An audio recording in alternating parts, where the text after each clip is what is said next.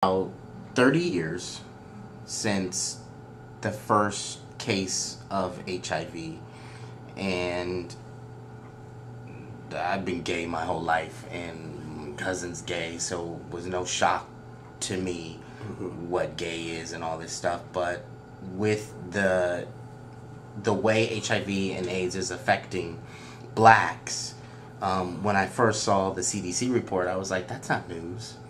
That's always been the case.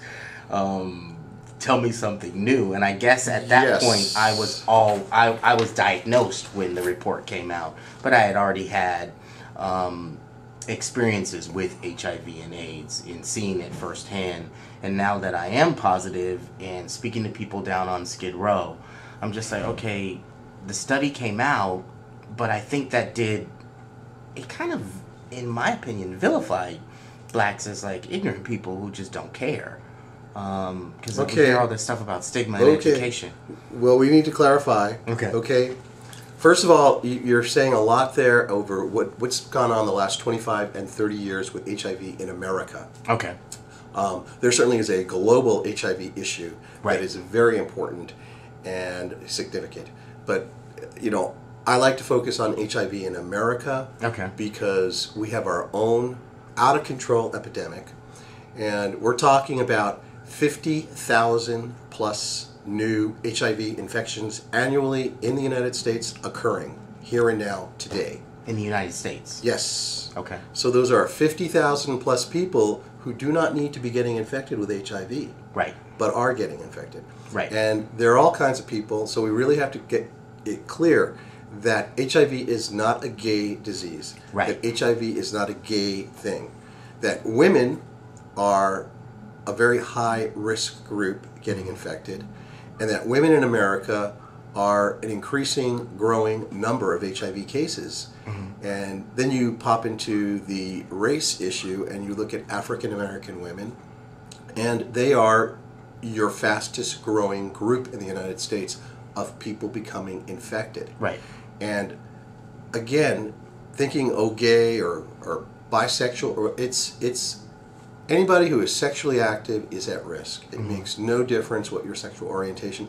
You can be a happily married, monogamous, 50 year old, 25 year old, 25 year married individual who's never had any other kind of sexual contact except with your spouse mm-hmm. and be at risk unknowingly. Okay. So, um, the disproportionate rate of infection in America with African American um, is probably largely due to trust Okay. and the fact that historically there's been access to care, access to healthcare issues in communities of color.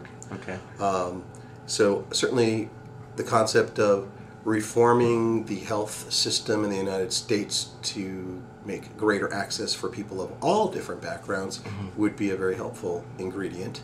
Um, and then, you know, looking again back on the trust issue is that many people just are afraid to go into a clinical setting to get tested because they don't know if they're really going to be getting the real story. Right. Uh, there's the Tuskegee background with the syphilis study from years ago that has certainly not done anything to um, create a, a greater sense of trust. That's one of the reasons why we look at taking HIV testing initiatives out into the community to churches. Churches are a great gathering place, uh, any kind of religious organization. And while um, we don't necessarily think of that as being a place to talk about sexuality per se, y- you know, we can just give a very simple, clear message get tested, Right. Find out your status, and if you're positive, get into care. Just like like- with hypertension, uh, diabetes, um, a lot of other um, health screenings that occur at health fairs, at churches, and at other venues, we want to see HIV and STD screenings um, more readily available and accessible to all And- communities. And I'm glad you said that because I, I, I'm a firm believer that it's going to take some outside the box thinking in order to get um, the community's hardest, and I hate the word community when it applies to people, the, the for, for the sake of, the, of this argument, communities' um, engaged in it, and I think that means uh, being present in churches, being present at at nightclubs, um, and being present wherever the communities that are hardest hit, wherever they are, somehow becoming more actively engaged in those communities to one build that trust, Mm-hmm. and two send a clear message that hey, we're in this together, and we're not out to get you. We're here to help you. We want to provide the services and the care you need. You also touched on access. And um, for me, just my experience, my biggest obstacle hasn't been me owning my diagnosis, it's been access. Uh, Right. And I've told everybody until I became a patient here, now that I'm a patient here, HIV isn't even something that I wake up thinking about. If I know if I come in April and my doctor tells me I'm going to be starting meds, I know she's telling me I need to start meds because one, I need to start them, and two, I know she's going to to to pick out. I'm not going to be out there wondering what's going on. Um, I'm fully confident in my medical care here. And when I talk to other people, low income and poor people, they just don't seem to have that. So, how do you think we can address that? Especially Well, when you come the- in, your doctors don't listen to you. An important model, though, is the, the concept of uh, a medical home where you start with that care and you become a partner, an active, an active participant and partner with your healthcare provider, and that you have other bridges and other connections, such as the case manager who can be the patient navigator, Right. or the nurse case manager, the social worker, the mental health therapist. These are all bridges that can help keep a person accessed and aligned into healthcare and also reinforce what's going on. Because a lot of the providers, you know, they, they might get a crack at 10 minutes or 15 minutes that you're really face to face with them in the exam room versus your case manager who supplements that or your social worker, the nurse who's able to spend a little bit more time giving the details, doing education, making sure that if there are other unmet needs, it's all being addressed. So, initial access into care and then retention in care are vital components because you know a lot of folks kind of get fatigued, get mm-hmm. frustrated, get sidetracked, just don't have the resources to continue the care, whether it's transportation, child care, whatever the facts may be. Um, we just want to maintain that connection and keep people initially accessed and maintained in their care. What is drug vacations? Something I would like to think is from the past and is no longer an issue. So, um, the concept of a drug holiday was an opportunity to let patients, for one reason or another, be able to be off their medications in a controlled manner where their provider is in agreement that they could stop the medications. Uh, pretty much, um, it has proven to not be a practical way of conducting business.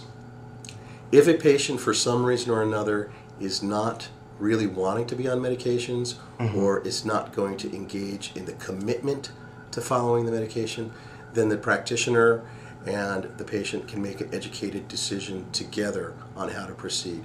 And in those instances, the provider is able to measure the person's lab results on a quarterly basis or three times a year to see what's going on with HIV and other uh, blood specific results to make an educated determination as to whether the person can forego or wait.